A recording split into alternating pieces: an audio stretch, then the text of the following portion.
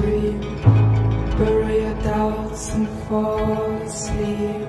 For neither ever